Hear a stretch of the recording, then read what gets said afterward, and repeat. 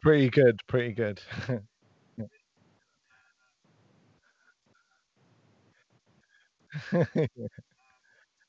Hey, hi guys. Now, thank you so much. Uh, all right, great. Now we have the audio. Can you drop a two so you can hear me and Aamir? Hmm. There's a bit of delay. Please drop a two. Yeah. Okay. Great. Um, all right. So, everybody, I am extremely um, excited about this upcoming mixing masterclass. We have the pleasure to have Aamir Yaqub, and I hope I have pronounced this correctly. Um, Yes. uh, joining us from London. Aamir, good evening. How are you? Uh, yeah, I'm good. How are you? I hope everyone's doing well. It's uh, it's great to have you. Um, we've been uh, introduced by our friend Katrina uh, from uh, SonarWorks. Yes, actually indeed. bringing this this session. Great, great company. Um, we do a plug for them because they are our sponsors, but also it's so appropriate um, as we're discussing. You know, today is about mixing and mastering, and especially helping a lot Mm, of people working from their home studio. Of course. their tool is is pretty uh, is pretty uh, helpful uh, to try at least to get a, a, a good uh, um, sound at home. So I'm going to do a quick intro for everybody uh, who uh, um, is not familiar with you. Um, so guys, Aamir uh, has of an impressive uh, CV. Um, He's a Grammy Award winning engineer, producer, and songwriter. He has worked with a lot of people we admire and enjoy music on a daily basis Alicia Keys, David Guetta, Migos, Rihanna, J. Cole, and Sia. Um, I love when someone describes their sound in their bio, so I'll try to um, to do uh, to do uh, to pay uh, um, the right homage. But you like to create beats infused with contemporary style of pop, soul, hmm and hip hop. Um, I think what the track you're going to use today is more leaning towards what what style? It's um, it's actually like you could call it like country R and B pop, um, and it's something that I I had the pleasure of just mixing. So I didn't produce this, but I mixed it. So you mix that track. Yeah. Um, so yeah, so we are super excited to have you. Um, if you want to know what Grammy he won, he recently won a Grammy uh, for his work on Rihanna, Unapologetic album. hmm So, Aamir, amazing to have you. Uh, this is where you take it from here. Uh, if you guys, you can hear, I mean, you can probably hear me, but I want you, and I know you're asking a lot of questions right now on the Slack channel for Matt uh, to understand what his uh, is. Um, Matt just uh, is a max- mixing engineer. We just presented from Nashville, and he really took a home recording and make it sound really uh, quite impressive. Awesome. Um, uh, but because we have this amazing partnership with SonarWorks, we're going to give away at the end of this session uh, um, a version of SonarWorks um, Monitor Studio, which is, I think, a value of $300 to help you treat your room or at least uh, adjust your room. So you guys stick around, pay attention to what Aamir is going to talk about because at the end he's going to ask a question, and the first one about this session, and the first one who answer correctly uh, will win the prize, and we'll, we'll connect you with Anna. We'll make sure that everything goes in order. Without further ado, enough of the intro. Uh, I'm going to take this out, and I'm going to put you only on the screen, and you let me know when you want to share your screen. Uh, but here you are, solo. Cool. So, um, firstly, I will start by saying thank you to the guys at Music Expo. Thank you to SonarWorks um, for everything um, and for inviting me today. Uh, it's uh, 6:30 in London uh, in the evening, and we'll be I'll be with you for the next hour and a half, taking you through this mix um, that I had the pleasure of mixing. Um, the artist is called Lexie. That's L E X I E, um, and I think her Instagram is Lexie Official. Um, and uh, she's someone who I've been working with on a fairly constant basis. her um, uh, producers are um, my friends, and um, obviously they know that I specialize in um, mixing as well as producing. Um, and one of the things I guess that I would say to a lot of people is, you know, if you if you can team up with someone else who understand your sound, even if you're a producer, um, uh, and get them to mix your your artists or your own records, um, and you can do the same for them. That's probably quite a good idea. Um, so kind of like building a community and stuff like that is kind of how this came to me. Um, the reason I'm actually pulling this one up um, today is because of the fact that I actually mixed this in uh, in lockdown. So um, I was working primarily from home um, during lockdown for obvious reasons. Um, I wasn't in my uh, studio environment, which is where I am today. Um, and um, I think it's important to um, to note um, a few things. particularly the fact that you know I would have been doing this in in my room, which is at home it's untreated it's not tuned it's you know it's not perfect um, and um, using headphones as well um, from time to time as a reference point is a great thing to do. Um, and so um, SonarWorks was a, a, really big help for me in in all of that um, period. It kind of allowed me to carry on and to be able to trust the sound even at home with an untreated setup. So this song um, yeah, kind of came to me and and and Lexie wanted to uh, wanted to have it mixed during the lockdown period so that it could be um, uh, released after lockdown. Um, and you know she shot a music video in lockdown and all of this kind of stuff as well. Um, and over time, her and I have built up a great relationship, and um, and you know there's a lot of trust between us when it comes to working together. Um, and one of the things that you're going to want to do is you're going to want to build relationships as well. You're going to want to build really good relationships um, with other artists and other producers, and you know, depending on what you specialize in, um, I think is very important um, for us all to support each other in, in this time. Um, and um, you know, I I didn't charge Alexi what I would usually charge her um, on on this on on this song either. So you know we were all helping each other out, and I think if you can all take something from that side of things, particularly, um, I think that's probably a um, a good way to look at stuff going forward. So um, the song today is called um, "Be Your Fire," and um, the way that um, an artist like Lexie kind of works is she she comes um, with a lot of ideas from a lot of different genres, and she tries to kind of put it all together and make it um, sound, you know, uh, accessible to today um, and everything, rather than being much more of a throwback sound or something like that. And um, I, I, obviously that's something that I have to keep in mind when I'm working alongside her and I'm and I'm mixing um, so um, she she has a very um, great approach to the production, um, which she co-produced, um, I believe, with a producer called Quants, um, and um, she obviously has a big focus on vocals. And um, another reason why um, our relationship is so great is because I I care a lot about vocals um, too, and I think you know they're they're the golden the golden part of production um, and um, and songs today. Um, when I start out a mix, whenever I personally start out a mix, um, aside from the obvious things like tidying up and you know all of that kind of stuff, um, I'm I'm I'm thinking about how am I going to um, really um, serve this record? So I have to remember that I might want to do all of the you know tricks that I learned coming up and you know like tricks that I've learned from YouTube videos and blah blah blah blah blah. However, um, I I really need to be able to serve this song to to be able to be the best song that it can be based on obviously what I have received from um, the artist and the producer in this case.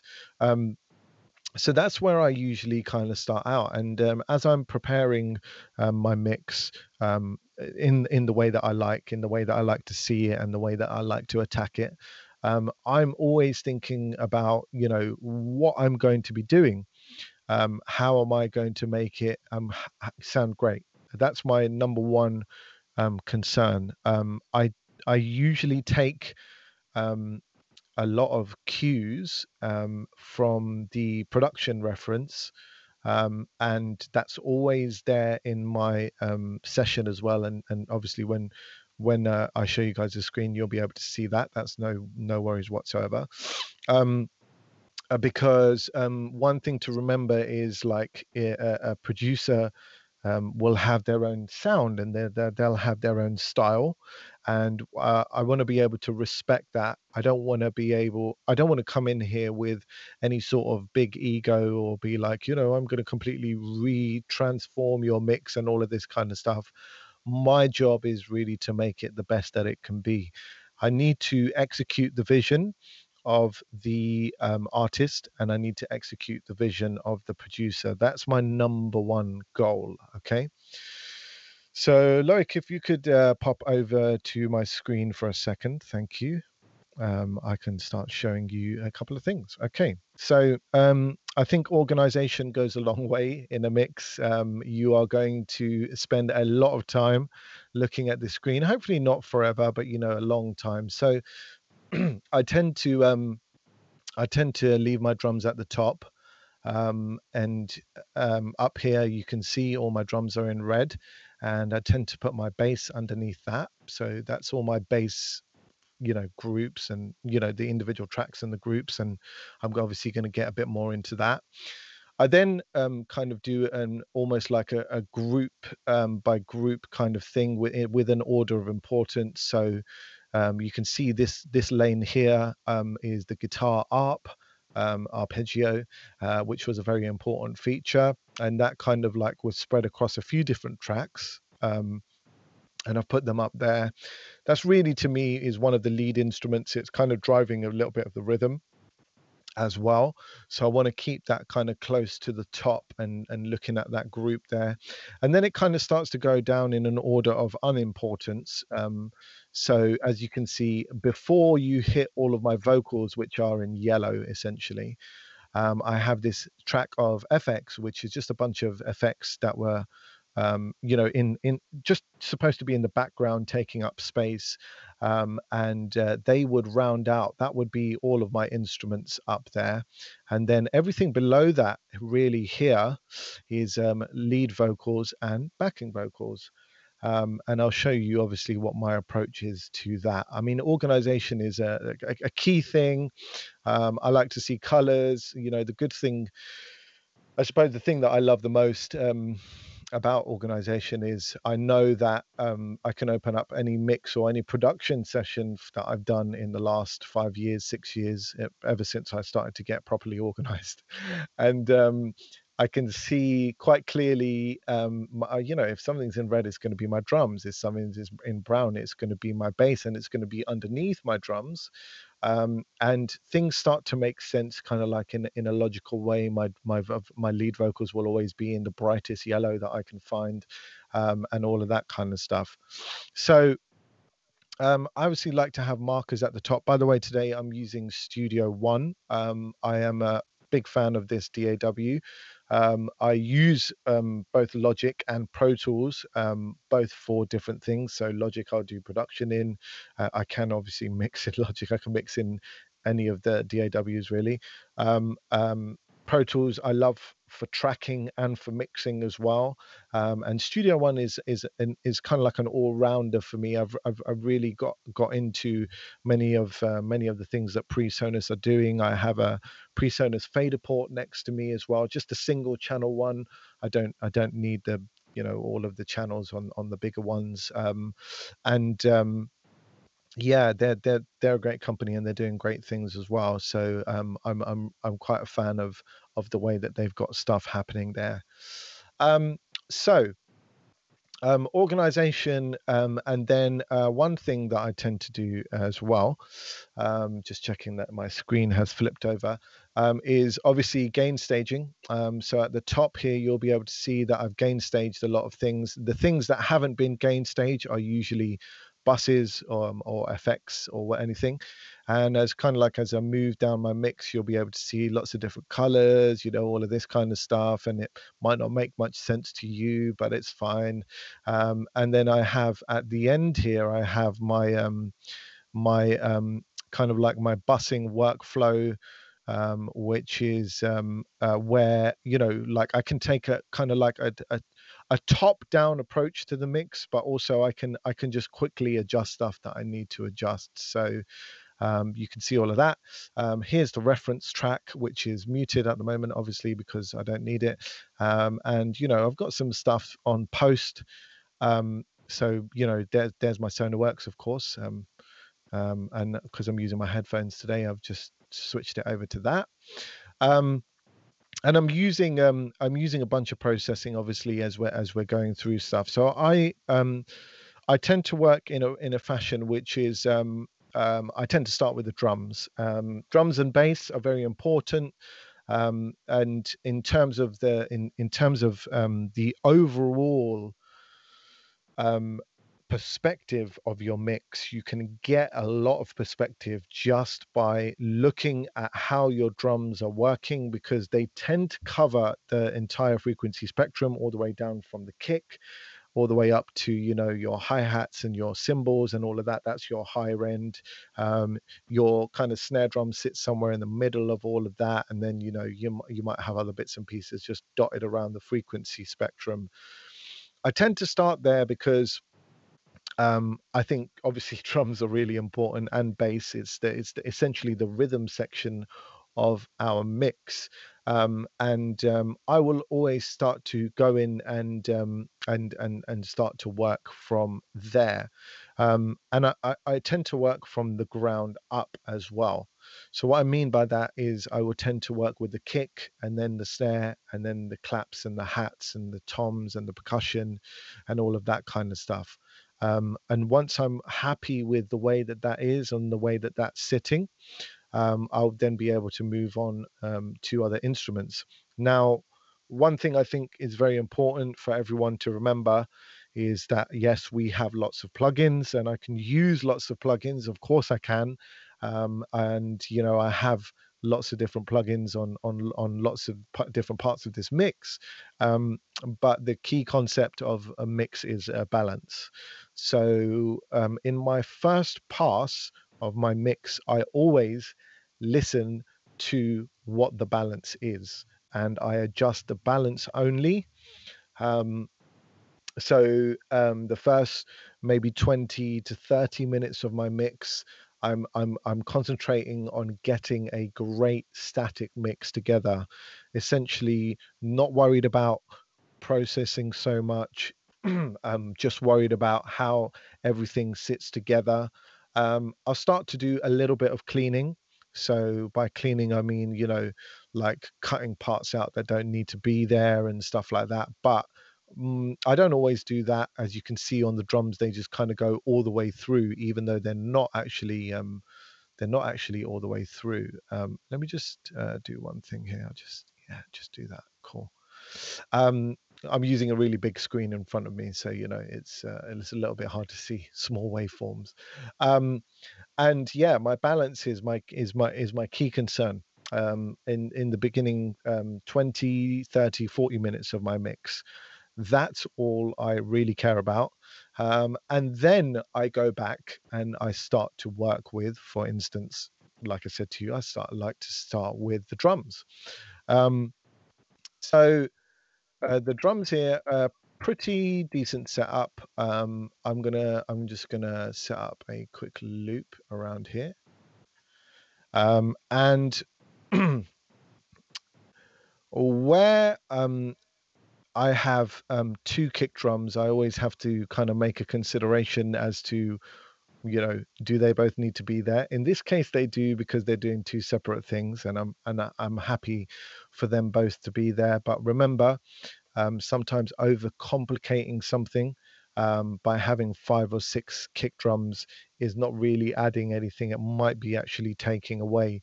So you want to sit down and, and make some of those decisions Um, and you know, sometimes I've I've I've worked on stuff, I've mixed stuff for other people, and uh, they haven't even noticed really what's been going on. Um, that I removed, you know, three of their five kick drums. Um, so um, I'd say this is something that you'll build with time and confidence, of course, um, but don't be afraid to work with that kind of thing.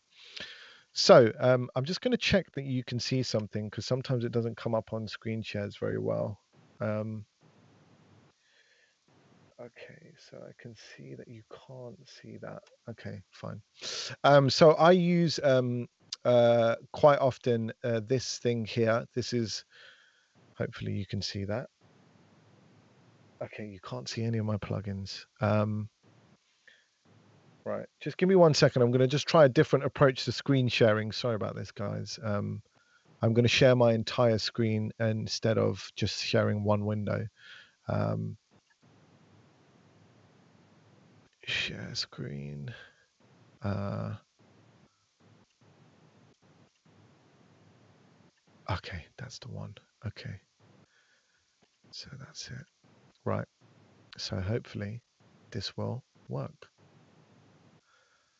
Um, oh yeah, just to mention the um, the audio interface I use on my studio is the Antelope Orion Synergy Core, which is a, a really nice one. Um, so now, yay! I think you can see that. Yes, you can. Um, okay, so I use um, I use uh, Softube uh, Console One. I use. Have you been using this system for quite a while now? Uh, one thing I love about this system is that in front of me I have a controller for those of you guys who've not seen this, and it allows me to move around my mix very quickly. Another reason that I use Studio One is actually because it's very tightly integrated with Softube Console One as well. Um, so this allows me to move around my mix very quickly, and as as as you can kind of see here, um, what I've got is I've got the SSL um, XL 9000K or the SSL 9K as it's known um, set up, um, and this is their console emulation of that. Now, the reason that I love this uh, so much is because you know, obviously, uh, big studios. Um, and I worked in a very big studio in London. Um, uh, having a board, having a console, and the sound of that console is quite um, quite inspiring. Um, but also having the functionality of being able to, you know, just just touch some knobs as I move around and quickly do things. Um, this is this is what it's kind of all about for me. So.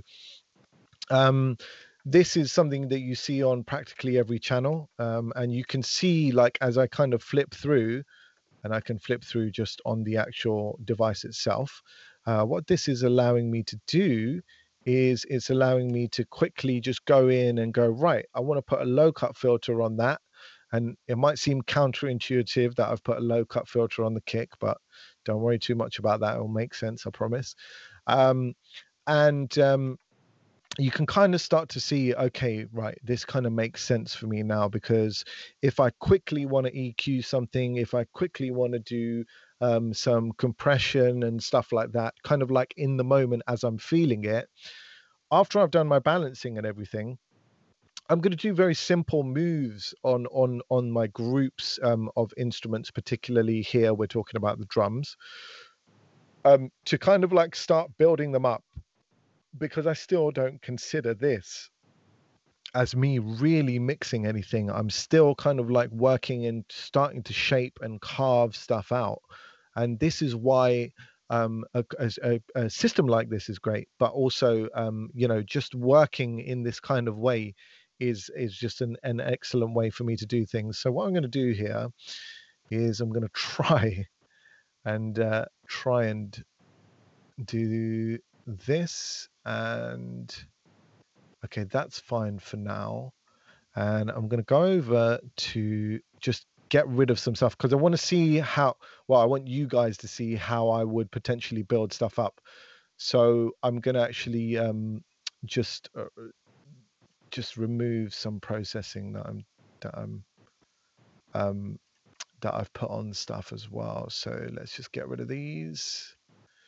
Uh, there's nothing after that. Okay, so cool. Um, so with my group of drums here, I'm gonna uh, just just play you. Oh, sorry. Give me one second. I just remembered I had this voiceover channel, um, which I'm going to delete because I don't need it. Uh, remove track. There you go. Okay. So um, just going back to my drums. Um, I'm just going to be able to just uh, obviously solo my drums, and I'll, I'll, show you how this routing is working in a second. Um, but soloing my drums.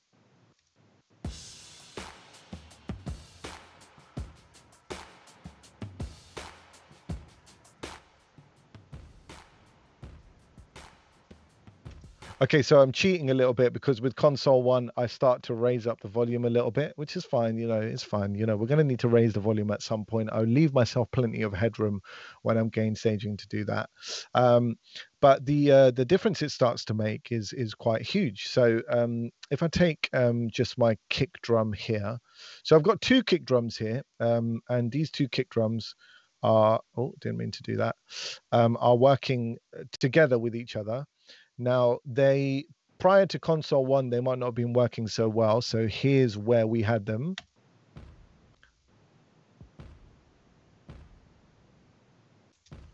And I'll put console one on.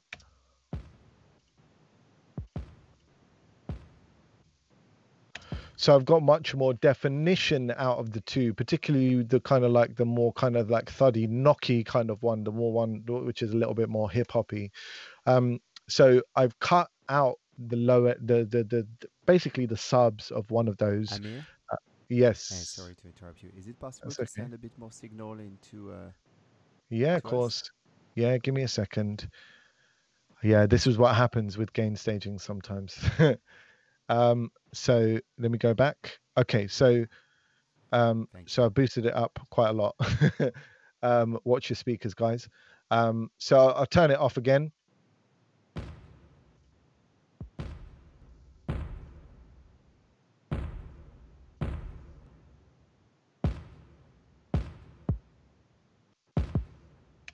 So hopefully you're hearing and feeling that definition a little bit more now between the two kick drums. So like I said on this first one here, which I'll solo for you, you can hear that's just kind of like an atmospheric kind of thing that's happening. Um, whereas this one here is more the one that's giving me that kind of like little knock and stuff. So here, what I've done is um, I've I've cut out some of the super super lows, kind of like under 45 ish, um, and um, I've added a bit of um, punch with my transient shaper because I want it to kind of like push through a little bit more. Um, and you know, I've added a cheeky little bump with my EQ. This is just would be the the regular kind of SSL 9000K equalizer. So without the EQ and the transient shaper,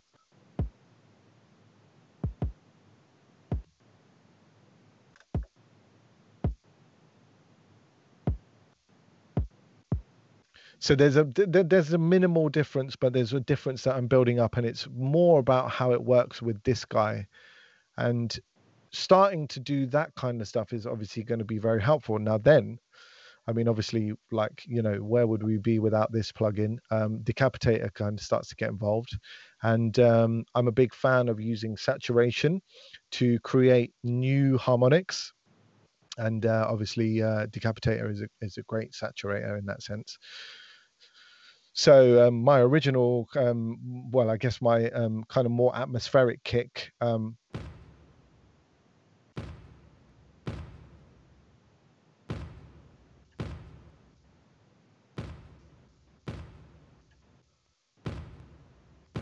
it feels like it has more atmosphere and i haven't even touched um, an eq or anything like that. It feels like it kind of like just opens up feels a little bit brighter but not in a way of me using eq um, and with this kick drum here the more thuddy kind of one um, the more typical kind of one i i, I actually um, did something um, very similar. And you know i love this preset drum fattener just adjust it to taste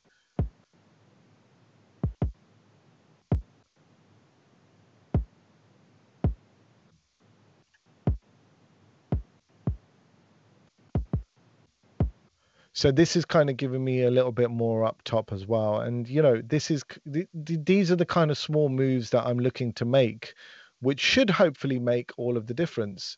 So without any of those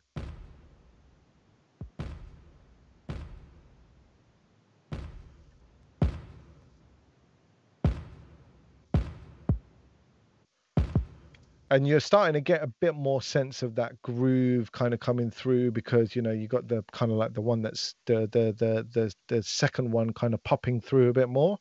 Um, really helpful to do this kind of stuff particularly for um, smaller speakers. Um, so here i have something called a kick snare layer. Um, and this is i'm just going to solo this one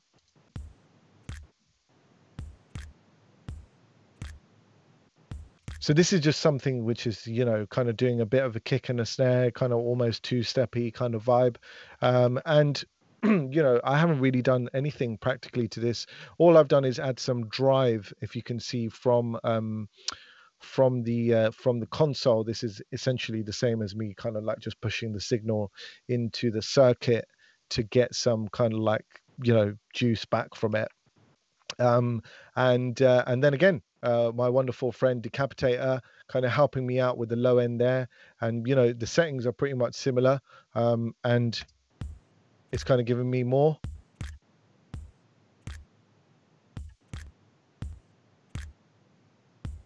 And so now it feels like it has a bit more life. So that is kind of how I started to work with those. And as you can see here, I've started to kind of like you know these will be the guys who are being sent to the drum verbs and stuff like that as well. Um, my snares i had two of them.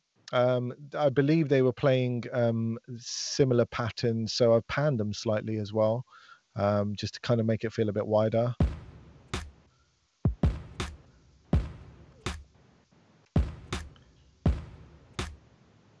And as you can see here, I'm cutting out like a lot of the low stuff out of this particular snare. This is snare two, um, which I've named because I think it was named that by the actual producer. Um, and um, a little bit of punch on my transient, actually a lot of punch. But I, I don't really tend to care about settings, which is another good reason uh, to have something like console one or just something that you can move without looking and paying attention to the screen because I don't really want to be led by the screen that much. Um, the second one, as you can see, I've actually um, added a lift here. So um, what I'll do is I will um, just solo these two for a second. So this is the first one that I just talked about. So that's almost got kind of like a side stick feel to it and this second one here feels a lot more like a clap. So those two, um, you know, I felt like without that little boost, obviously it was a little bit flat in that range around about 1K, just over 1K. Again, you know, some people might go, oh my God, you boosted that by 5 dB. That's crazy. Like, why are you doing that? And it's like, well, I'm doing it because I, it sounds good and, and, and that's how I want it to sound. Um, one of the things that the SSL 9000K is known for is is for its like slightly more aggressive kind of like punch, but also extended low end. Um, and even though I'm not working with that low end right now, um, I, I, still want to kind of just get that kind of like nice aggression, but kind of still clear and tight and punchy by using some of the onboard EQs, as it were. I have a reverse snare here.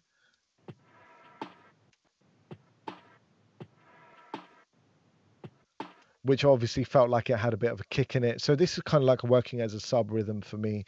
Um, here's a clap which I bounced, um, sorry, which I balanced obviously, uh, as you can see, a fair bit louder um, because it felt like obviously it wasn't popping through. Um, I've got a, I've got a boost on this around about um, seven uh, 1.7k, um, and I've obviously just gone just gone up on the punch and everything. So let's um, do that, and I'll do a, I'll do a before and after with this one as well.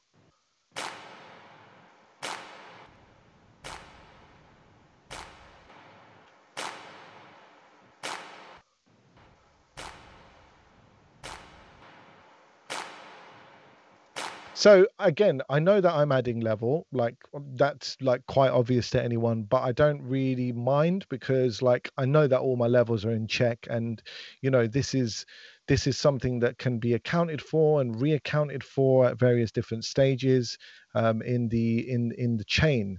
Um, so I'm not really too bothered. I just want to kind of get it moving and, and kind of get it happening. So so far, um, if we take just the kick and the snares and the clap, um, I've got this going on.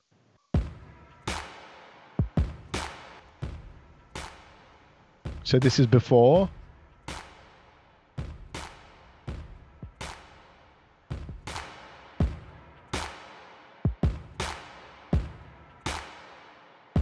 And obviously I'm looking here to kind of like, okay, this is now my foundation for my drums.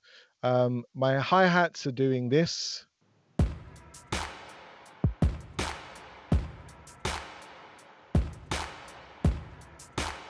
And very simply i've just put a filter on that and i've just driven it so i can get loads of kind of like top end sizzle here with the character what i've done is i've kind of push, pushed it um, to the right hand side which would give me um, which would give me much more brightness um, and i've obviously panned this instrument off to the left a little bit because I don't want it, or to the right, should I say, because I don't want it to be, um, I don't want it to be in the way um, of anything else.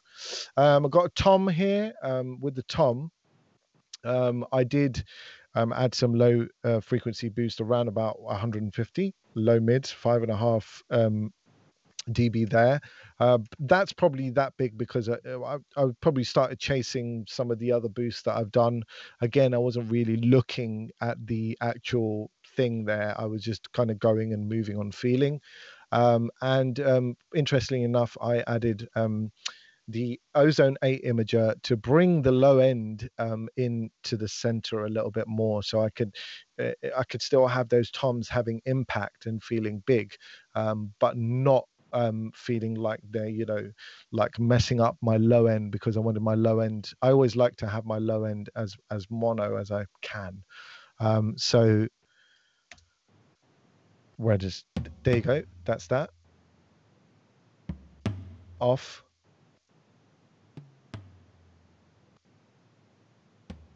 um, and back on. So I'm starting obviously build.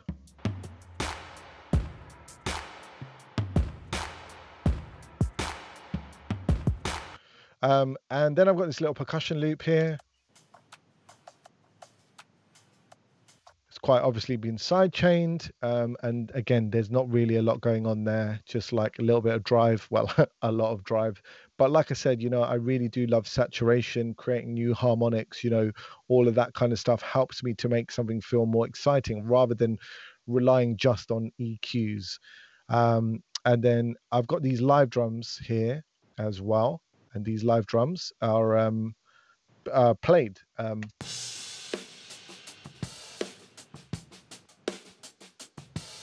and and they're kind of adding to the rhythm and the overall feeling. Now, this I've obviously gone quite wild with. Um, I cut I, I, cut out all everything below around about 100, added loads of punch in, um, and you know I've boosted some of the low mids to help it to pop out.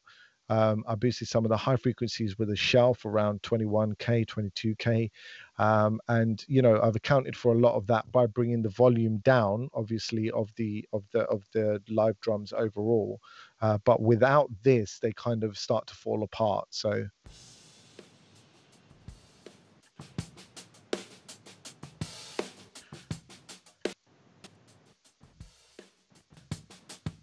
And then with my imager again i'm just trying to i'm just trying to obviously um, just keep that low end in check because for some reason it, seemed like it was really wild and and and wide. Um, so my drums are kind of starting to work out um, a little bit more like this. Obviously, before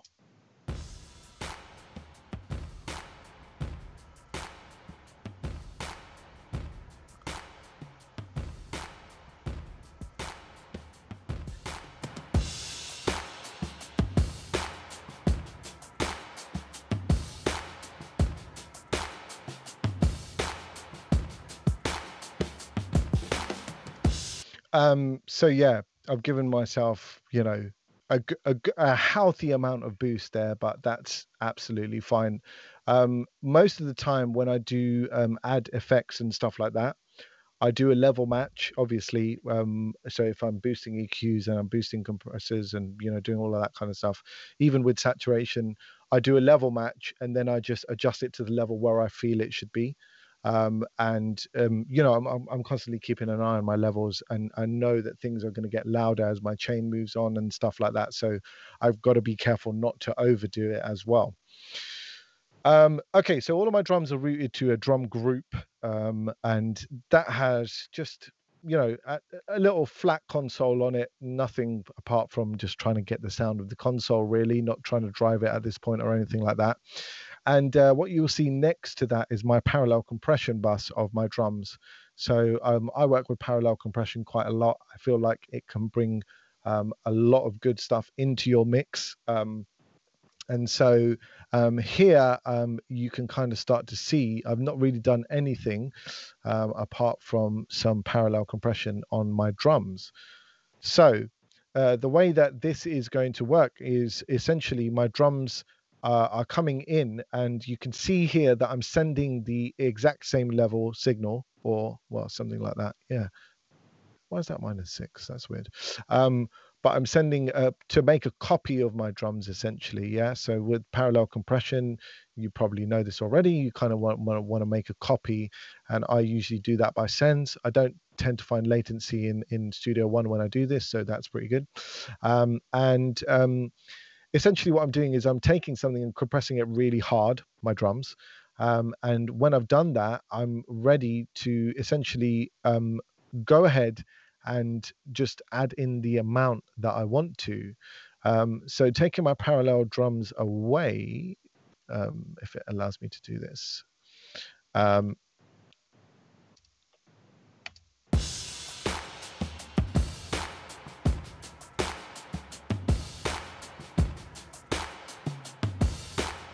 Is not allowing me.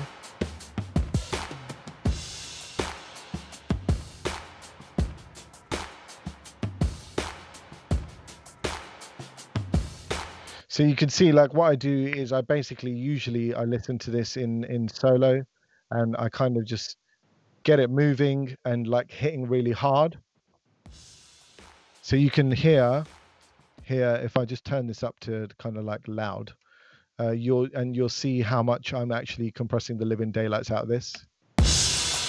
Sorry about that. That's probably a bit loud for you guys. Um, give me a sec.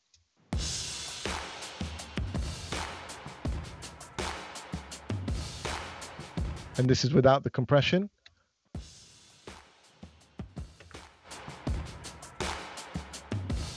Now, obviously, I'm not, again, I'm not bothered about that boost in level because I know that I'm controlling the level from here and I'm only going to add in as much as I want to. Um, so when it comes to all of the drums, um, I'm going to start to move this level up and then like I had it about minus 35, but I'll, I'll, I'll push it up a little bit more so you can see how it's adding a lot more weight to the sound.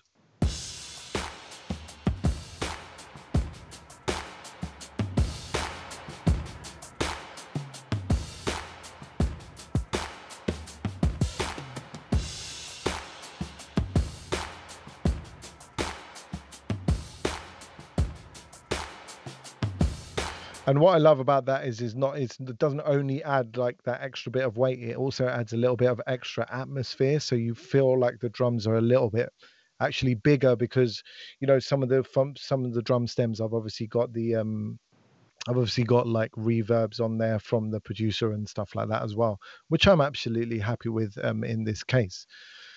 Um, that all will arrive finally at this drum bus, which I call drums all. And this is the final place where all of my drums are arriving. And I usually will put um, some form of tape on these just to kind of glue them together. Of course, I could use a drum or a bus compressor if you want to call it that, but just a little bit of tape to glue everything together, add some extra harmonics, give me some saturation, give me some uh, light compression as well. So I've gone into the tape at a little bit higher um, to just try and hit that a little bit harder. So here's my all of my drums now um, without the tape, and then I'll switch it on, and you'll see this little thing moving and stuff as well. So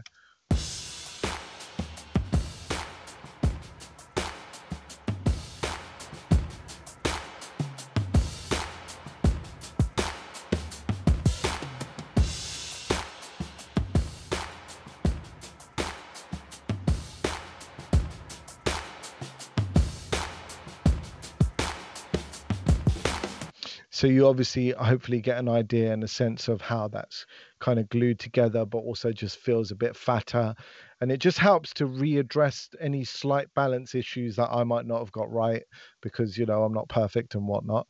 Um, and um, everything is, uh, well, everything apart from the kicks is being sent to um, this uh, drum reverb here, just to let you know, it's um, uh, just it's come into console one, um, and it's uh, it's Valhalla Room. There you go, just very simple setting, default setting. I just played around with it a little bit, and then you got wider. So this is one of my favorite plugins. Um, 30% um, width, uh, just to kind of open up that um, um, uh, uh, what do you call it? Um, reverb there. Um, so for some reason, this is one annoying thing about Studio One. Um, so um, here, uh, without the without the drum reverb, I'm just going to have to bring it down like this.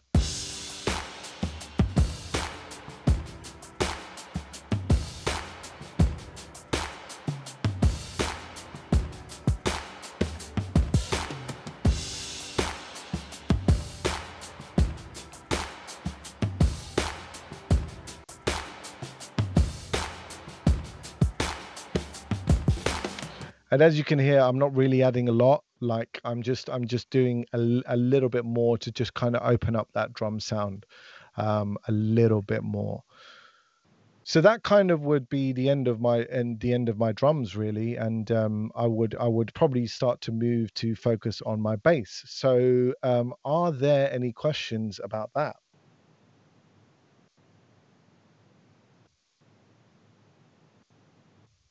Let me check. So far, no question, but I'm asking, and it, it may be Okay. a bit of a delay. You know, that's fine that's fine no worries so they, may, um they may have read the question before you said it. uh, okay okay fair enough um boom. cool Wait, hold on, Matt. Don't-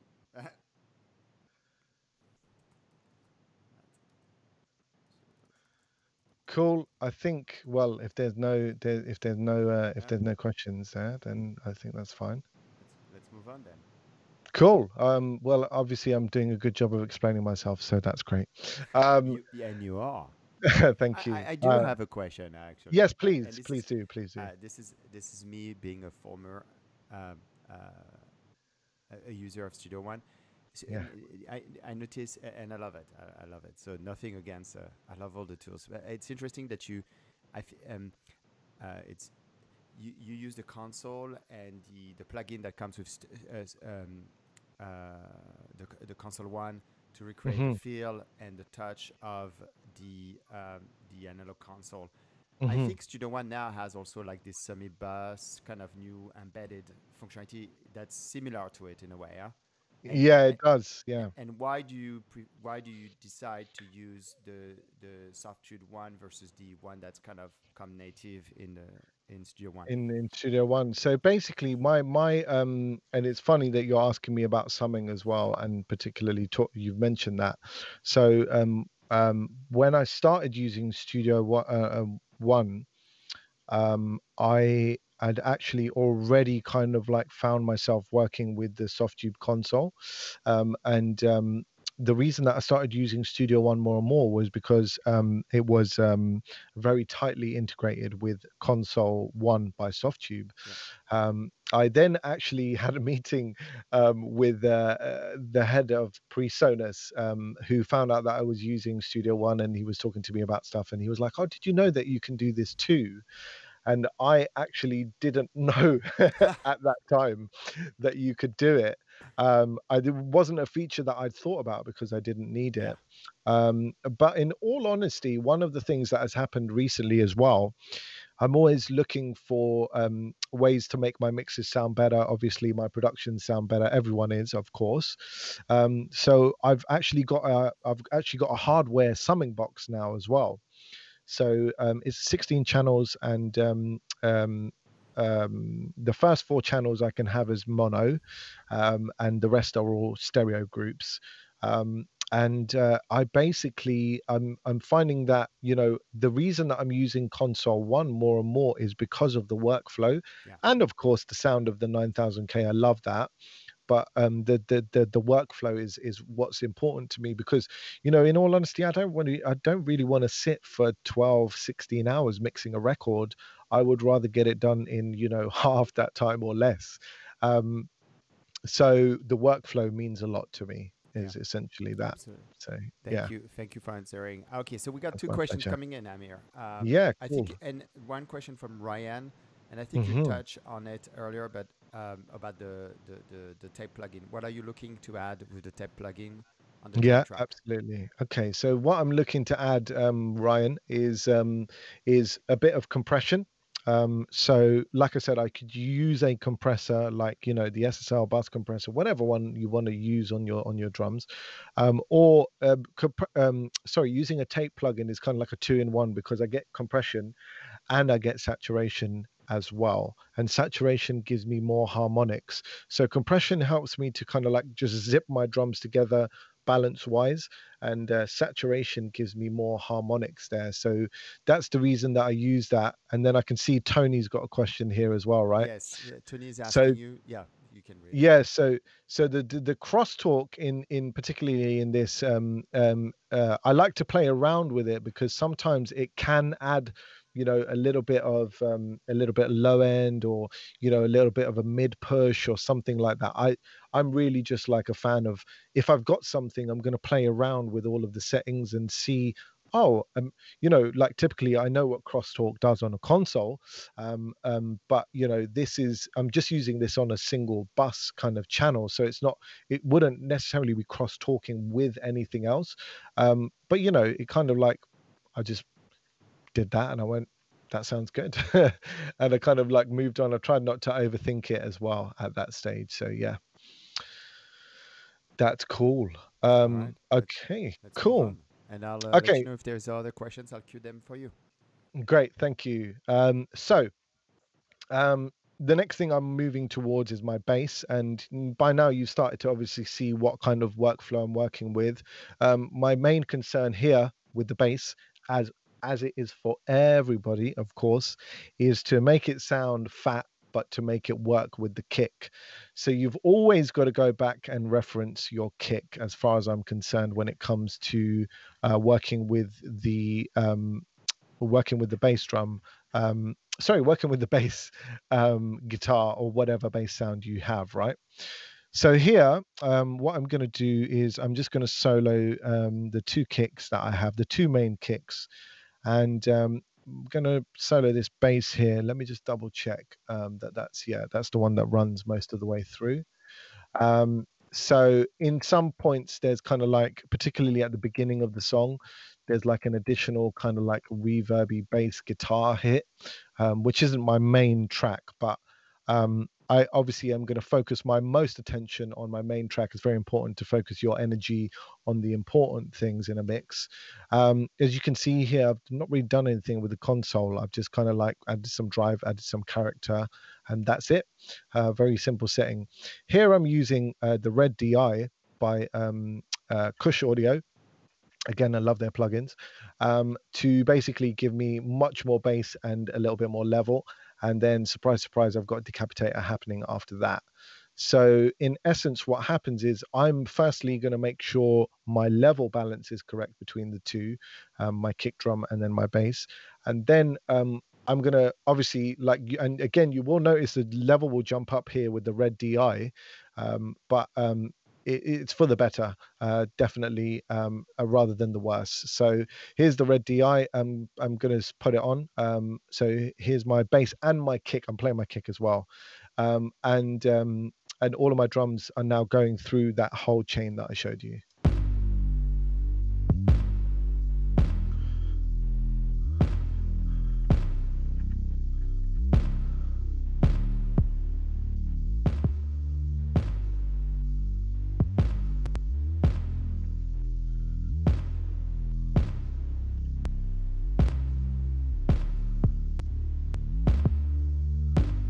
So for me that bass sounds like a lot fluffier and a lot more like oh it's you know it's got it's got something a little bit more special about it now that's obviously come from a um of a synth of some description might have been a virtual one i don't know but it sounds a lot more fluffier. And I, and I, I, I'm I'm a, I'm a fan of you know taking synth basses and and running them through amps or preamps or you know whatever you want to do to kind of give you that extra edge, particularly if it's a virtual um, synth um, that you're using. And then uh, good old decapitator comes in handy. Um, so I wanted to bump up some of the mids, and this is one of my favorite settings, the mid driver setting. Um, so obviously you can see I've mixed it into a certain amount.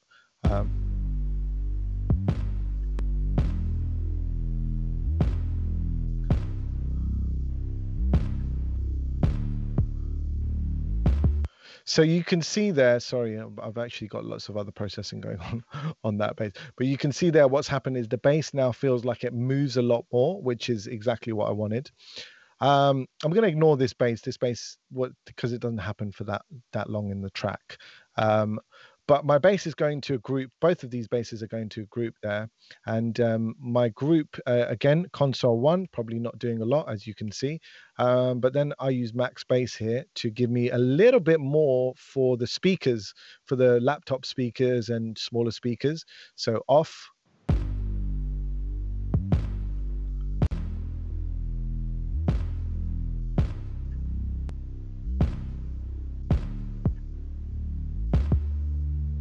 and again that's kind of like building it up and making it feel a lot better. So just to take you back because i hadn't actually got rid of the whole chain um, here it is without um, the red di and the decapitator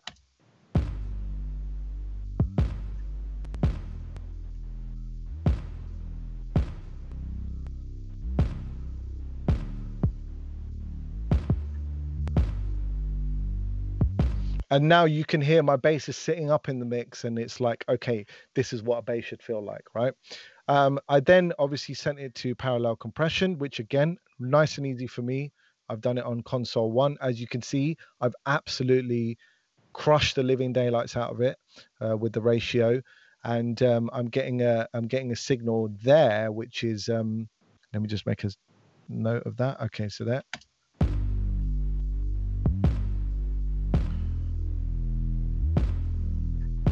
and again, like you might not be able to hear this if you're on speakers, but like the low end, and I can't I can't really hear it particularly amazingly on my on my um um cans, but and the the the low end the sub stuff really starts to pop out at that point. Um, on my um, uh, combining my bass signals all together here. Um, once again, I've gone with uh, console one, obviously, and um, that's doing nothing. um, so it's just there. Um, one thing I've done here is um, I've uh, obviously worked on the uh, low um, uh, from uh, 120 downwards, and this is on the mids. I've kind of um, added a little bit of a bump in the in the middle image, right? So the middle image, not the mids, not the mid frequencies, the middle image. I've added a little bump here. Um, so this is really going to help to pop through in the bass level a little bit more. Um,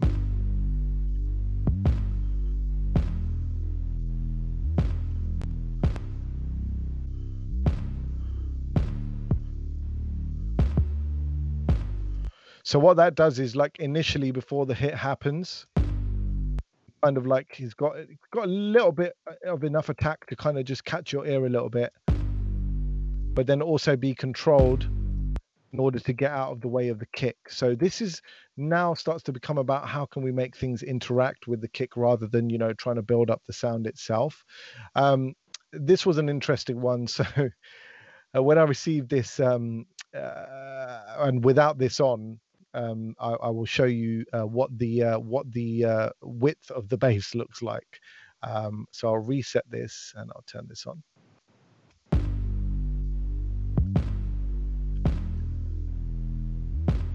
Okay, so that bass is obviously like it's kind of swimming around. So I want to make it feel a bit more central and a bit more focused. That tightens up the image a lot, and you wanna and you wanna really kind of try and veer away from widening basses and particularly in in the low frequencies of the bass. So everything below 120 got um, basically just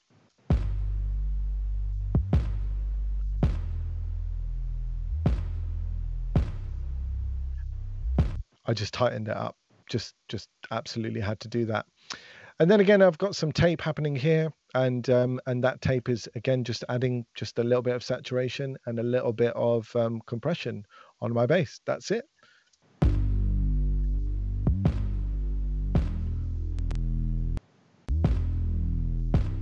And you can hear, interestingly, that kind of brings up some of those slightly more frequencies that have a bit more bite to them. So, like in in the bass, in the, in the bass instrument, 600, 800 hertz. Um, there's a little bit more bite there, a little bit more growl, which is what I wanted.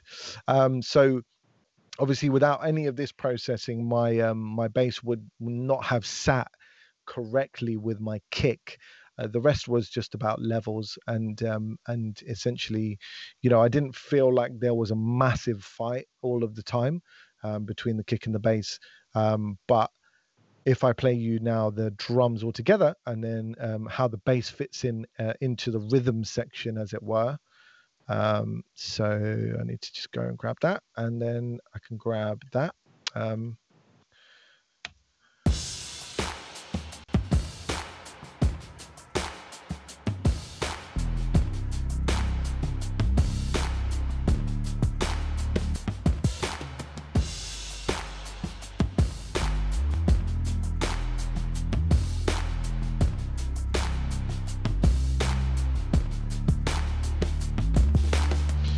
that's obviously feeling a lot better to me. Now, funnily enough, what a lot of people would do is go and mix the instruments, uh, the rest of the instruments, and they'd get the instruments together. I always move over straight to the lead vocal from here. So, like I said, um, my big three elements in my mix are going to be my drums, my bass, and my lead vocals. And the lead vocals will tend to actually put together i'll put tend to put together a mini mix um, of of of the lead vocal and how i want that to sit. Um, and um, my lead vocal is sitting here at the moment. Um, and the uh, when the vocals arrived to me i was fairly happy with them. They were tracked very well um, and Lexie's voice sounded great um, as it usually does. But i wanted to obviously run it through my regular batch of processing that i do um, and um, I wanted to give it kind of like the the the flavor, the style that it needed. Um, and essentially, what I did was I worked um, with my processes. So um, on my lead vocal, I will always go in and take away first, take away, take away, take away, take away, whatever needs to be taken away. So using um, FabFilter Pro Q3, um, I was removing some resonances quite clearly up here um, and just some frequencies that annoyed me. And um, you know, I've done a high pass on the vocal there um, up till about 92, um, and um, and then I was de-essing her vocal as well. So, you know, like um, de-essing is something that you're going to have to do. Um, and it's because you're you you just absolutely need to do it. um, so um, just kind of controlling the S range allowed me to to really make her vocal shine on some of the later processing. Um, then I flipped it after that. I actually put it into console, and console allowed me to take away a little bit more lows because you know I felt like whatever was happening with the FabFilter frequency, I wanted to take away a little bit more of the of, the low end. So um, I kind of took away some of that. Um, with a low cut and a low um, shelf. Um, and then I kind of boosted some of the top up to make it feel nice. Um, uh, so 4.8. This is me actually using the BCA equalizer, which is essentially, you know, a Neve a Neve uh, replica. Um, and I added a bit of compression to her voice as well. Um, this would be like what I would consider as first stage compression. Um, funnily enough, it's all buttons in um, higher, um, sorry, fast attack, fast release. Um, and the reason um, that I have all buttons in is because I don't, I just want the meter to just kick slightly. So this is actually how I set up an 1176 when I'm tracking vocals. Um, this is my compressor um, uh, that I will set up uh, when I'm tracking vocals. So I actually put all buttons in, or 20 to 1 or all buttons in ratio quick attack, quick release, and I just want the meter to move a little bit. So uh, that was console, and then um, a little bit of RVox to.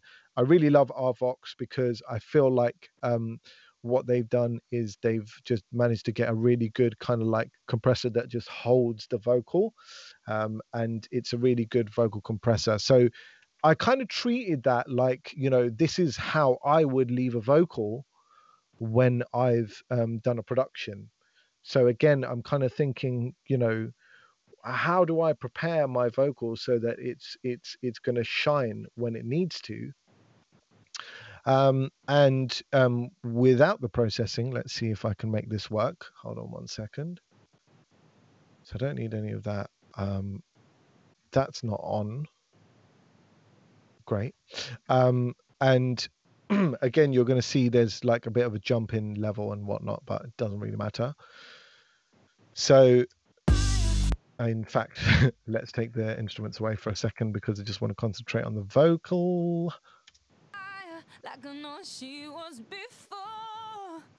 I wanna give you everything she gave you and more. So obviously I'm going to begin by adding my um, things where I was taking away mainly.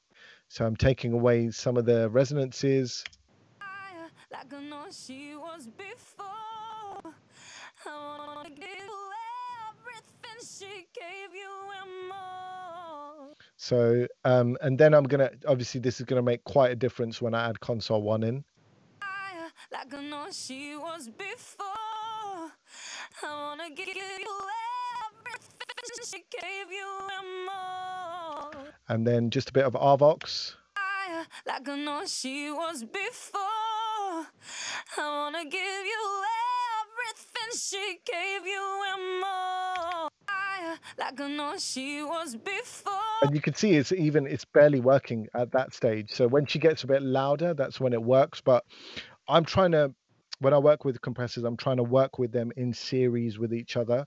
So I'm doing a little bit of compression on each compressor just to show you what that console one compressor was doing.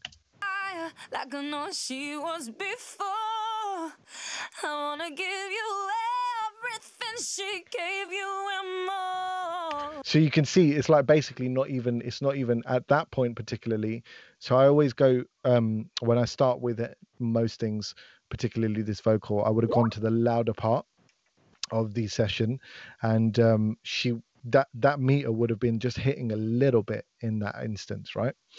So my vocals usually I will mult them out, but because they were only sent to me as one single lead vocal across the whole song. I didn't need to mult them out. Um, and I worked with a lot with automation and stuff um, on this channel here. But um, my lead vocals at that point, um, they should be ready for the second round, which is basically mixing. So um, I I then took my lead vocal um, and I started to apply uh, the other effects that I love to use. So obviously it's going through console again, not really doing anything there. But I've kind of taken some of the punch away just because I felt like when she was hitting certain words, it was kind of like just popping out a bit too much. So I kind of took some of that away of her vocal, which was fine. Um, I was going to use this, but then I decided not to for whatever reason. I just took it away entirely, so it's not even part of my chain. And then um, I, I threw up my favorite vocal compressor of all time ever, um, the uh, very fabulous TubeTech CL1B. Uh, this is the version that's done by Softube, and I really love that. Um, and this uh, was, um, you know, this was giving me some extra juice uh, from her vocal. So I'll, show, I'll actually show you what that did because, you know, it was my, it is my favorite. So. Like I know she was before.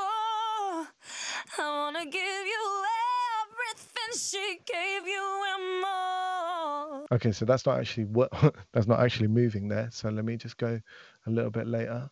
So let's see what happens here. Oh baby, I, I just wanna be a fire. All I'll ever be is ashes. Excellent. So that's not even working at that point.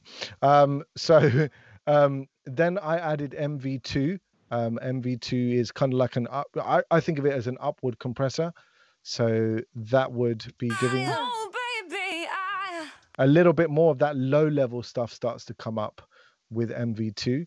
Um, and then I added some de-essing right at the end of the chain, practically, um, because a, a, lot of the time, because I'm using a lot of different compressors, they will be bringing up some of that high-end stuff a little bit more. So at this point, oh, let me find if I can see if I can find a section with an S in it.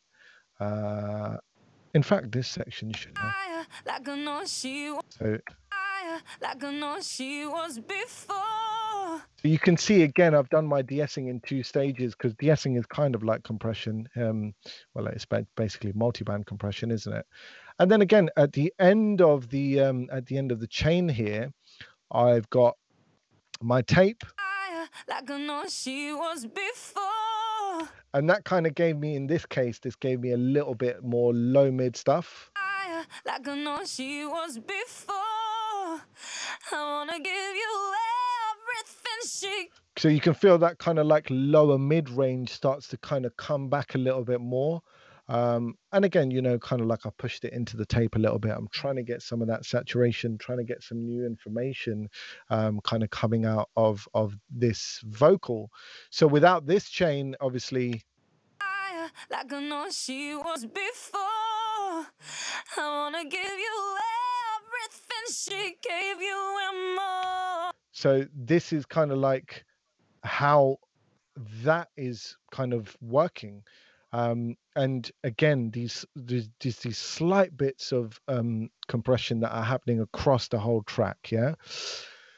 Now, um, you can see that these are all going to different effects as well. So with my vocal effects, uh, what I've done here is I've gone to a plate, I've gone to a chorus, um, I've gone to a long reverb, which is set up as um, Valhalla Room, and um, I've gone to a delay, um, which is uh, Echo Boy, um, and um, uh, this uh, side chain is informing. I can't even remember what this is informing actually there's obviously a, an effect that I'm trying to, to, trying to control there because I'm sending to a sidechain vocal. Um, it won't even show me the destination. I don't know what I've done there. Um, okay, something's going on with that. I'll, pro- I'll probably remember what it is and I'll explain it to you. Um, but obviously, working with the dry vocal isn't really that impressive. Um, so um, I'll show you what it sounds like. Uh, let me just mute all of my backing vocals. They are muted. Okay, so you can start to hear how my vocals are kind of starting to come together. Obviously, you can hear the other vocals that are going to the reverbs and stuff as well, um, which I will actually just try and mute now. Like I know she was before. I wanna give you she gave you. So with the plate, I'm just using um, the Arturia uh, Rev plate 140, beautiful thing. Um, with the chorus, I'm using um, just this very simple plugin, which is actually free.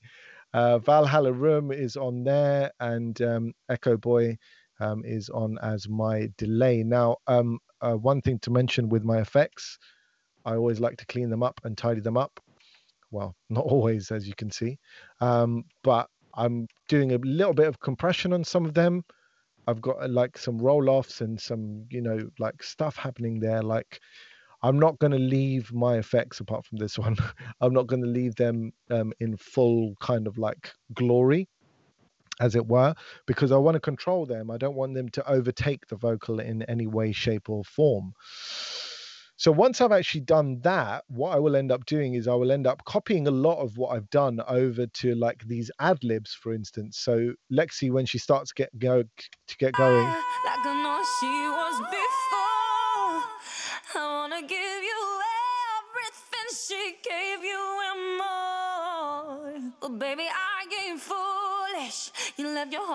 So I'm starting to work with the ad libs, and then I'm starting to work with the backing vocals and with the backing vocals, I'm just grouping quickly, grouping and kind of getting stuff together. Uh, a lot of the processing I do for backing vocals is done on the on the bus, and it's and it's basically you know these are all of the oohs, right? So these oohs are going to get treated. I don't even know where they are. Hold on one second. I'll see if I can find them. Backing vocal oohs somewhere. Aha, there they are. So all of these oohs are getting treated. Um, oh no, they're not oohs, they're oh, oh, OOOs actually. So Oh, baby, I, I just wanna be your fire. I'll ever be is. Wanna be your fire. Oh. So you can see like I'm taking some of the top off because I don't want them to outshine the vocals. I'm adding a little bit of compression and then all of my backing vocals are going to go to their own bus. Um, and they're going to start to now fit into the context of my vocal mix, which is basically a mini mix of whoa um, of um, of of my of my vocals. Um, so it's kind of like a separate mix to my mix in in a very strange way. Um, but you know when someone's working particularly kind of like with an r&b flavor and they and they then they're using loads of backing vocals you want to be able to kind of like treat it as almost like a separate mix itself. Um so at that point um my drums and my vocals would be like kicking and knocking and all of that and i'm hopefully sitting in a good place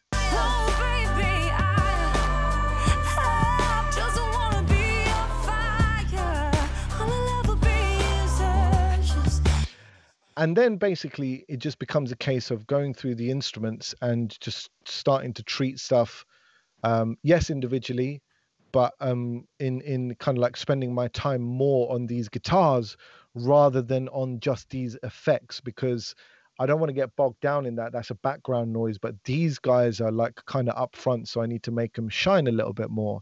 And because they were also similar, what I did was I did a lot of processing actually on the bus. I just added like um well individually actually i would have done a little bit of work a little bit of cutting and compression.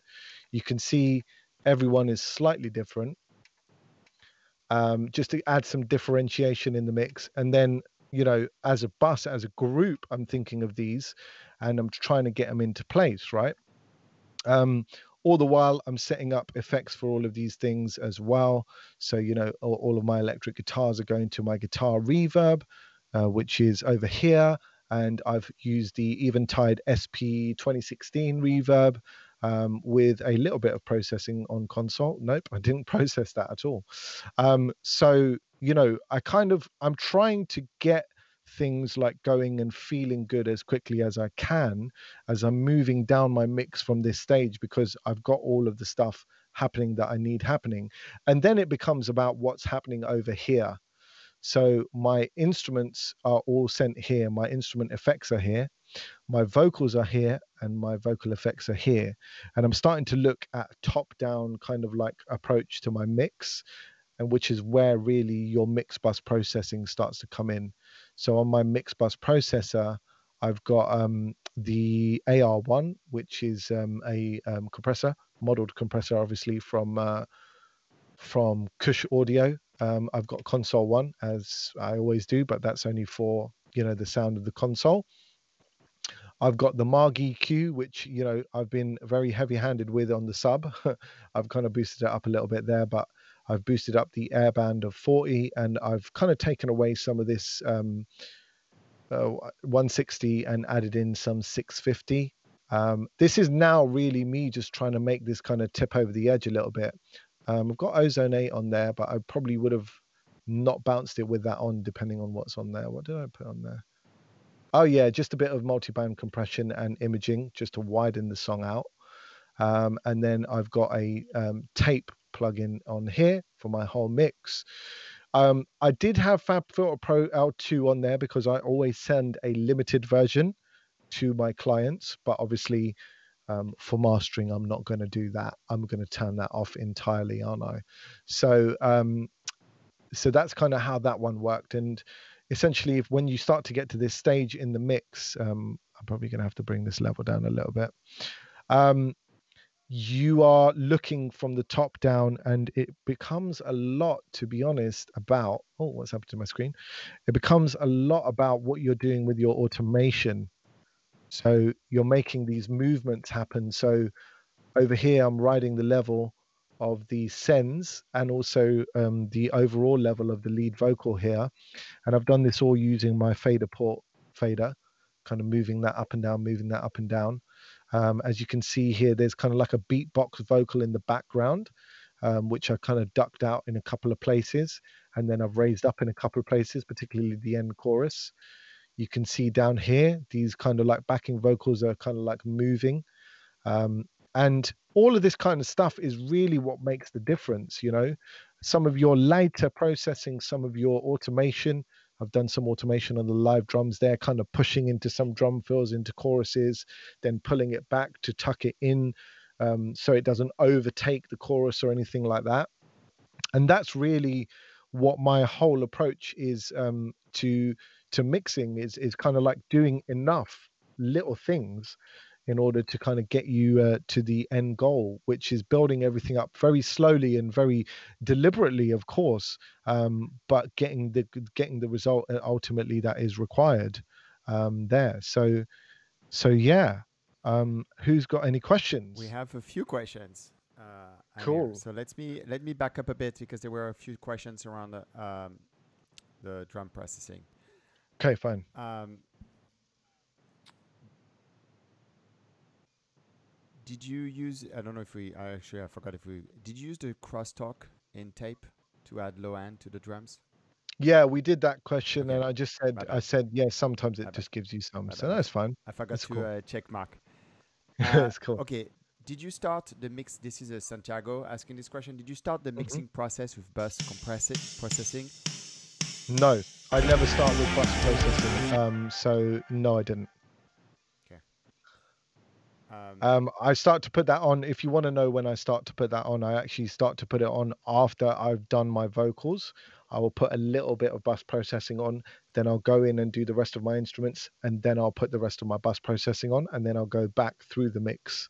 Um, so I'm kind of flipping between the two all the time. Um, thank you. I, I know I asked a question. I think you touched base a bit on this uh, because you talk about workflow and time you save. But do you find the Mhm. process of having hardware controllers like the console one versus clicking with a mouse has a huge difference?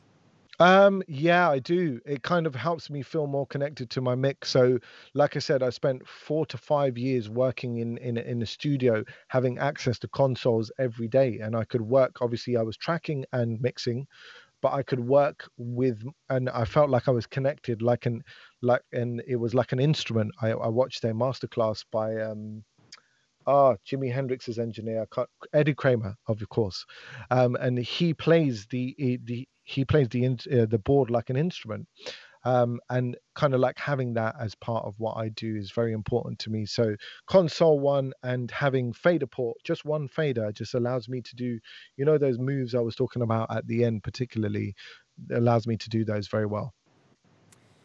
Um, Ollie has a question about your workflow process. Do you Mhm. typically use the Ozone Imager to review every bus or group, or mainly just to control the low end of the kick and bass tracks? Uh, interesting and good question, actually. So sometimes I want multi-band um, um, widening on on let's say a group of instruments. So even though there's not many in here, um, sometimes on my synths I would want that, um, and um, and that's the case where I would I would use something like that to actually widen that stuff out. Um, but mainly, actually, yes, I use it to control the low end because I don't want a low end that's like really wide. It's not going to help anyone. Um, Velma, I will skip your question because I think he went through the mixing vocals. But if you have um, a more specific question, please drop it here. Um, a good question from Tony. Uh, do you lower breaths or lift them? Good question. Um, so you won't have seen this because what I do is in my first round of stuff, um, I do vocal automation first, first, first, and then I bounce that, um, which is what you're obviously seeing. Um, and breaths is on a case by case basis. So if I feel like the breath is getting in the way of the song, I will take it. I'll, I'll bring it down. I won't take it away entirely always. Um, but if I don't, I'll just leave it because like a singer's uh, got to breathe because they're a human you know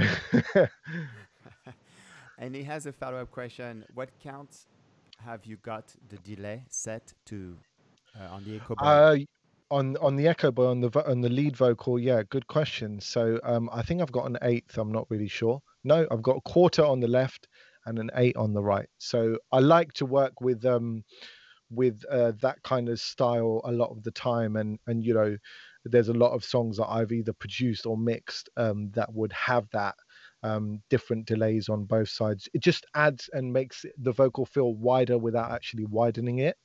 Um, and it gives you a cool kind of like slap slapping effect as well. So yeah, that that's my settings there. It's actually just based off the back of Stereoizer. so um, wherever that setting might be. But as you can see, I have altered it. There you go. You see, it's got the little star next to it. So I didn't just use the preset. And is there a bit of a dry uh, signal going as well, or is just the uh, the delay? No, that's that's completely wet. That yeah, is. it's completely so, wet, huh? So very low feedback as well. So you're only getting a few slaps off that one. You're not you're not getting a lot. Great. Um, how do, a question from Velma Licious. How do you Mhm. go about setting up an effect chance, i.e., theory, philosophy? Oh, okay, so my th- uh, my theory or my philosophy is always just do um, take away the bad stuff and then build up the good stuff. Mhm. That's my theory. So, or th- that's why, particularly with the vocals, you know, as I started with the vocals, um, I started with the um, with, with the taking away. So I was taking away all the resonances. Is basically all subtraction on that EQ. I'm taking away the S's and stuff like that, and then uh, with console, I can start building a little bit more. Um, I, you could argue I'm taking away with the compressor as well. I'm kind of taking away and holding away the peaks um, uh, but then you can kind of start to build up happily from there take away what you don't want enhance what you do want and um, just try not to screw it up in the process always always check always check always check on off on off all the time just to make sure you're doing the right thing um, don't ruin someone's vocal Thank you. Uh, another question My from pleasure. Rose or Eloise. Uh, Mhm. What is your process for choosing the Echo Boy and or other delay settings on the voice? Um, so the Echo Boy, like for me, is so versatile because like you can get different textures from it. So if you kind of go in in there, you can see you can get different textures. I can add saturation. You know, I can change the groove or the feel, even though I didn't do it here. Um, and you've got all of the single echo, dual echo, ping pong. Like it's a very kind of like um, uh, very wholesome. E, um, sorry, delay. Um, my other favorite, which isn't actually on this mix anywhere, is H delay. I really love H delay because again, it's simple, it's got character, and um, and you can do some really nice stuff with it. So yeah, that's what I um, that's what I use. Oh yeah, just to mention, haha, I found it. So my lead vocal, um, I was I sidechained my delay. There you go. So my delay is sidechained to the lead vocal. So there's a compressor after the echo boy on the delay every time the vocal hits my compressor is ducked down in level so it's never ever getting in the way of the vocal I see. I see. Um, great. Uh, two more questions. One from Marcus. Besides Yeah. optimizing the mix by tra- track by track, do you also make Mhm. temporal changes? Exa- parentheses separation to direct the listener's interest and help telling the story of the song. Yeah so i mean it, i don't think it was on this mix but um one one plugin that i use quite often is is panman. So like panman can help things to move around in the background um and um and doing stuff with with with the stereo field is always very interesting to me. Um so yeah i try and add some interest where i can. Um and generally speaking you know even something like micro shift which i've put on my um on my I- I obviously love sound toys. You can see that, but um, um, which which I've put on my guitars, just kind of helps them to feel a little bit more like dreamy. Um, so yeah, I love I love doing uh, creating interest, uh, particularly in that way. Beautiful. Um, Marcelo has a question. Wha- how do Mm-hmm. you think of your gain structure when going forward, backward, applying changes? He means about digital. There is the, there's a very sensitive aspect of gain structure stage and the web plugin sound. Yeah, so I mean, like obviously with gain staging, like my my main concern with digital is not to hit any plugins or come out of plugins in uh, in the red. So um, my as you can see, I start very conservatively with my levels, um, and then um, making sure you know obviously going into any plugin or coming out of any plugin, I'm not clipping. If I'm clipping, that's going to make my mix sound bad on on on you know on the whole, um, even though you can see this big clip there, um, but on the whole, um, I'm always the thing is, and what one one piece of advice I would say is that as you kind of uh, go along and you, and you mix more and more and more, you start to understand what it is that you do and how much that adds. So you can start to go, well, I'm going to need a little bit more on this mix. So my initial gain stage is going to be, you know, I'm going to peak on my bus at minus 18 because I know by the time I'm up and getting around minus six, I'll be finished my mix. But it takes it takes time. But the main thing for me is do not clip a cl- plugin going in or out unless you're looking for a special effect, which is basically digital distortion, which you know I don't really like. All right, last question from Velma. She's asking you if you have any good books or videos you would recommend for a beginner mix engineer. So one of the one of the best videos that I will will recommend to you is on YouTube, and it's um, I think it's called David Gibson, uh, the Visual Guide to Mixing or something like that. Um, it's a bit trippy, and it was made in the 80s, so it's hilarious. Uh, but the concepts are actually something that I've carried on with me like throughout my life. I, I watched it when I was at university, um, and no, I wasn't on drugs at the time. Um, but it's a very trippy video. it's two hours long and it's based on the back of a book um, uh, that was done by him um, um, on the same concepts.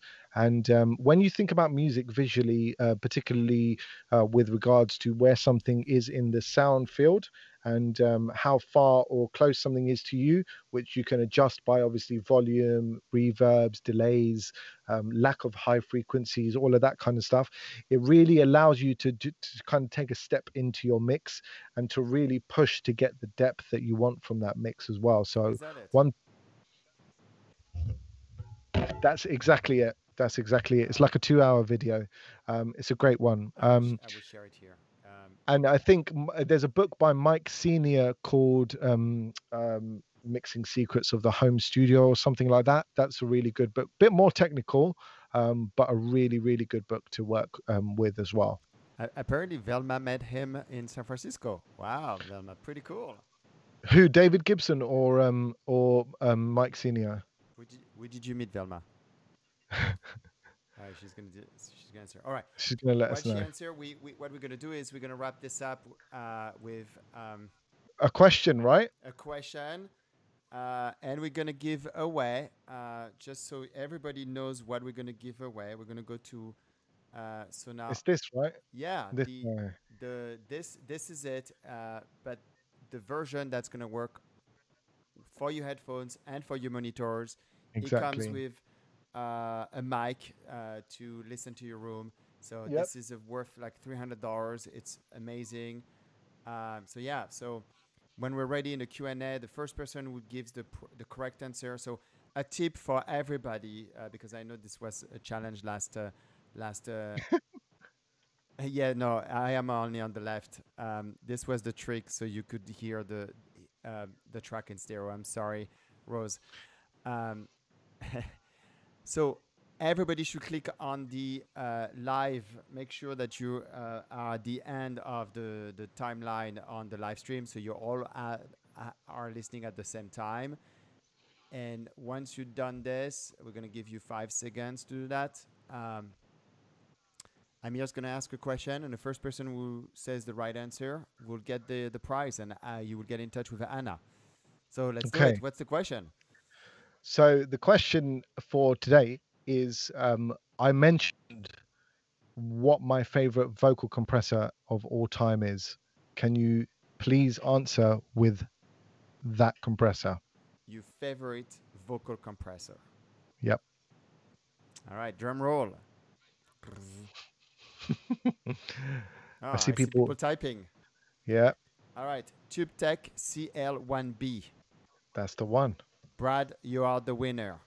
Congratulations. Right, Brad. I think it's not a Brad. You, um, I, I believe you work you you won a bunch of stuff uh, before, so congratulations. Brad is fast with the fingers.